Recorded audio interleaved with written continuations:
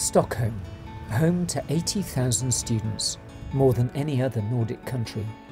Over 5,000 of them have come here from other countries to study.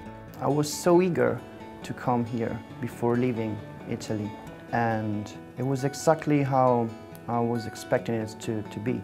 As a student, you're, you can always uh, meet friends just taking a coffee with a friend at a cafe in the sunshine in summer. It's a really, really good place to be. I think Stockholm has something for everybody. We have lots of nice national parks around the area where you can go hiking. Sweden is known for its culture of academic excellence. Well, I guess it's the, uh, the general curiosity of humankind, the eternal questions. Who are we? Uh, where do we come from? Is there life elsewhere and outside our Earth or even our solar system? Science education began in Stockholm in the 1800s. Stockholm University now has its home on a former royal deer park, the first national city park in the world, and it's here where the Department of Geological Sciences is based. The history of geological sciences, or specifically geology, goes far back. It goes uh, back to the time when we were not Stockholm University, we were actually the University College Stockholm, Stockholms högskola. The department currently employs 22 staff members, with more lecturers on the way. The work embraces geochemistry, Earth system modelling, geology, marine geosciences, and of course, climate change. I of course think that we do have a good standing internationally, but how do we measure this? Well, I think you can, for example, look at that we're not only taking part in international expeditions on land and sea, we are also actually organizing and leading international expeditions. And the same goes for conferences and workshops. No surprise then that in a city which boasts 5% of foreign students, that the Department of Geological Sciences claims nearly half its population from abroad. Stockholm University has a good reputation for its education in geoscience and geology. I think it's interesting to study the processes of this earth. And geology is, it's kind of cool. But of course there's far more to student life than merely studying. And again, Stockholm scores highly. So if you really want the student life with the associations, you can go into that if you want or uh, you can participate a little by going to the student pubs or you can just leave it if you're not interested at all. For students who come here from abroad, there are many benefits. One is the opportunity to study in the universal language of science and commerce. I think it's very, very important uh, in my field to know English. But ultimately, it's the department's reputation that's the biggest draw.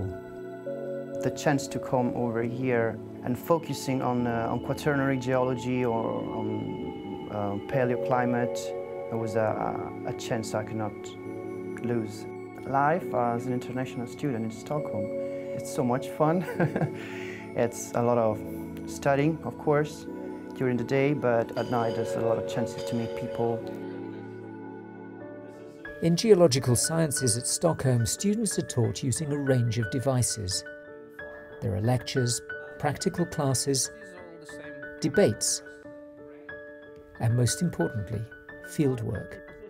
Many students are not taught geology in secondary school or in high school, so they come to university and they don't know anything or very little about geology. So if we wouldn't have practical classes with them or take them out in the field, they couldn't really understand the whole concept of geology. They learn how to read the landscape, but they also learn how to use present-day processes to interpret the mode of deposition of ancient rocks and their formation. Days spent off campus are often the most memorable for the students. There's a sense of adventure. They often have to rough it.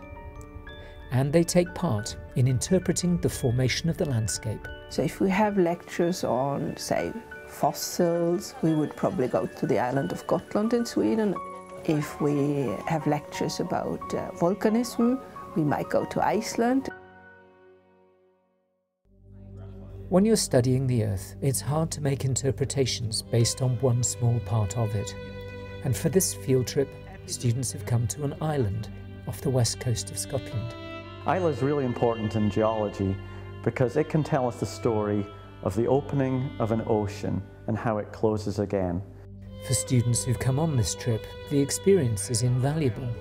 I think it's important to get the practical learning and also to meet other students and the professors. Here we have such a skilled professor as Alistair. It's such a pleasure to tap into his knowledge.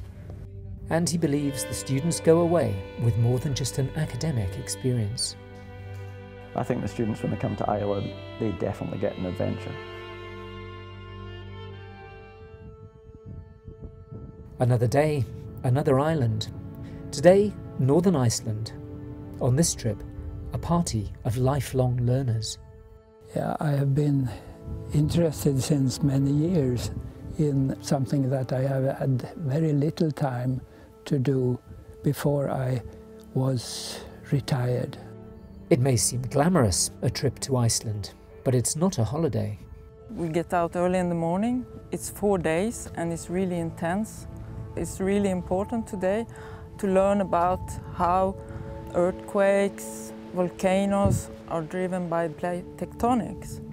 I learned that there are so many things to learn more and much more about. We have had very good instructors and uh, I have learned, I hope, quite a lot. The team behind Geological Sciences is what makes Stockholm University a leader in its field. Their active engagement in research and their passion for exploration fuels the success of the department. Their work investigates the big questions about life on Earth and beyond, and about how our world was created and how it will survive into the future. Professor Barbara Wohlfarth and her team have, among other things, been looking at climate change events in the Earth's past. Here in Thailand, they've been studying the Asian monsoon. There are almost no studies dealing with uh, past changes in monsoon intensity.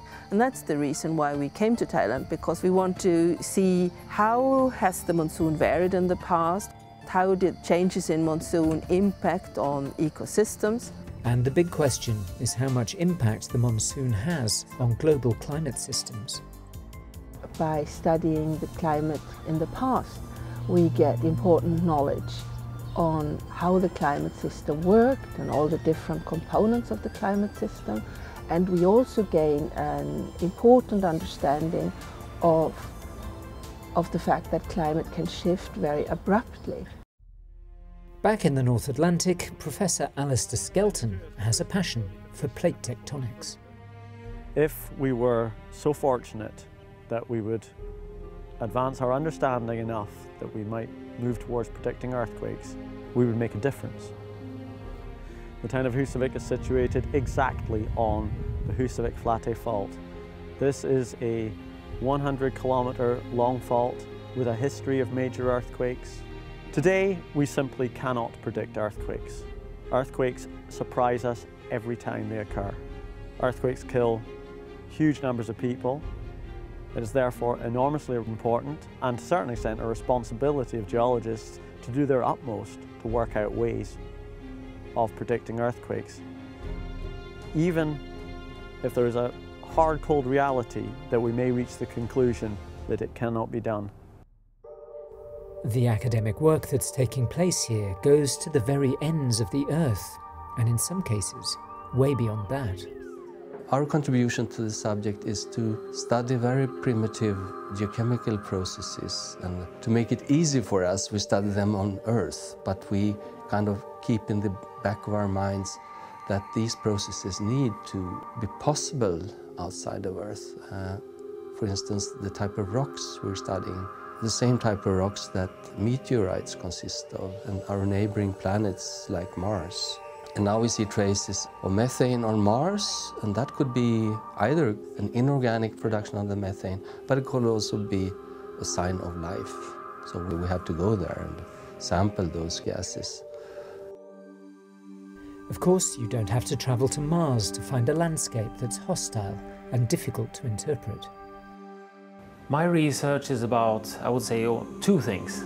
It's about paleoceanography and the, specifically then the evolution of the Arctic Ocean and now lately I've also moved to the Antarctic. The second part of my research, which is uh, mapping and compilation of bathymetric data on, on a broader scale.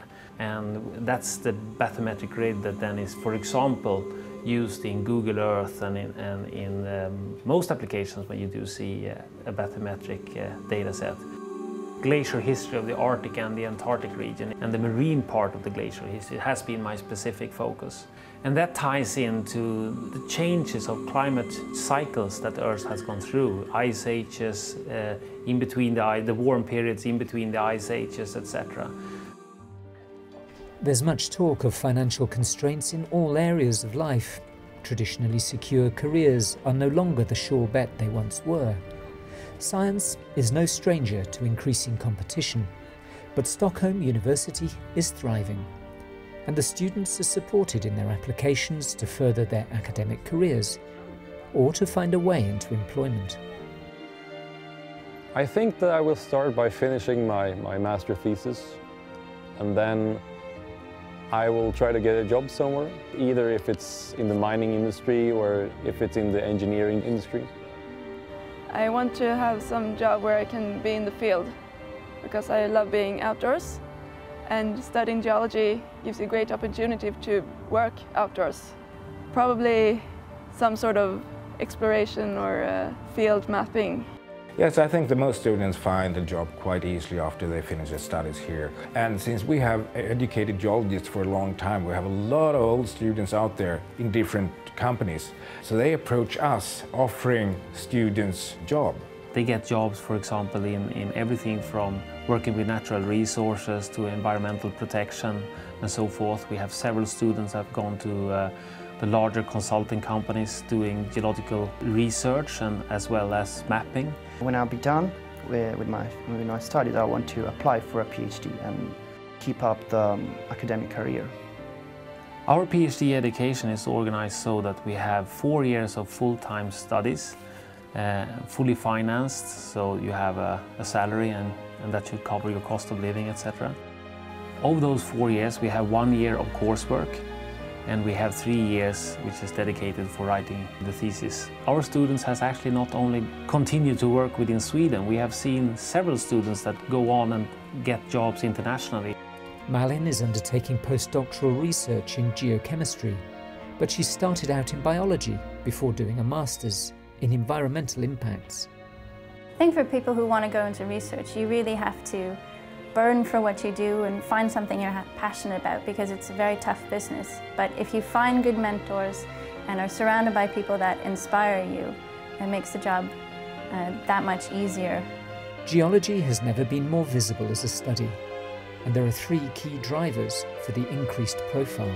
We have everything from earth hazards, uh, environmental hazards, we have landslides, we have earthquakes and so forth and we need to understand the processes of the earth in order to, to be able to better predict when these hazards are going to happen. It's also very important for resources. We are totally dependent on the earth resources and our studies are about earth resources.